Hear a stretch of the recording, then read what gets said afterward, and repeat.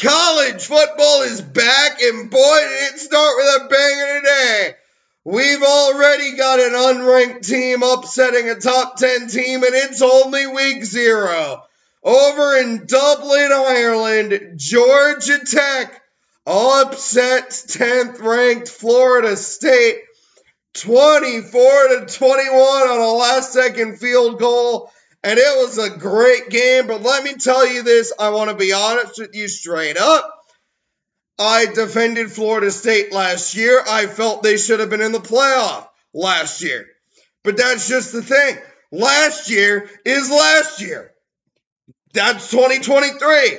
This is 2024 now. And Florida State as a university and, and their fan base, you know, they spent the entire offseason, they were suing the ACC, trying to get out of their contract, trying to be able to leave the league, acting like they were so much better than everybody else in the conference, uh, despite being mediocre for a few years up until last year. And, you know, acting like everyone else was too bad for them. Well, let me tell you something. If I were going to do that, I would not go out the the next season opener and lose to a team that the year before went 6 and fucking 6 in that conference.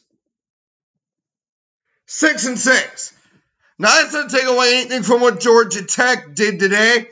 I think Brent Key is doing great stuff down there. I think they're a sleeper and a team that can make some real noise despite a tough schedule in the ACC this season. However, Florida State shat the bed. They shat the bed. It was incredible. DJU was the DJU we all knew from his Clemson era and he was only marginally better at Oregon State. So what, Mike Norvell, made you think he'd work out at Florida State, huh? I mean, really? Are you fucking kidding me? After all the offseason hype and talk and chirping and bitching from that fan base, you go out and lose to Georgia Tech? Really? Are you? Come on, man! You got you got to do better than that. You can't go out and do that.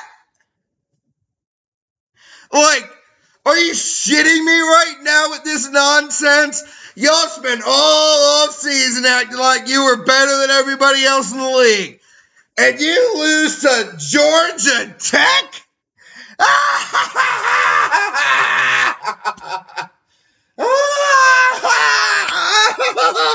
no, there's no way.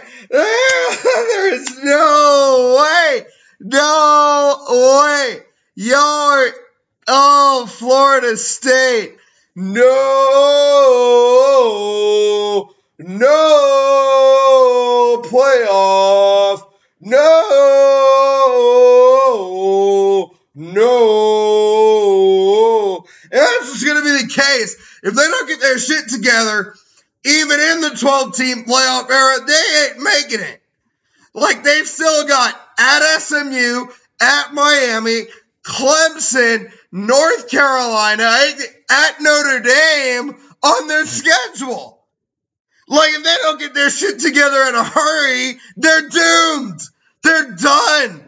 I can't help but thinking we've been bamboozled, hoodwinked, run amok, led astray, and flat out deceived by Florida State. I mean, they lost to Georgia Tech. Oh my God.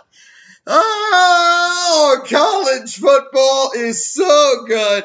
It is amazing. We got more amazing games coming up. Oh, this is going to be such a great season.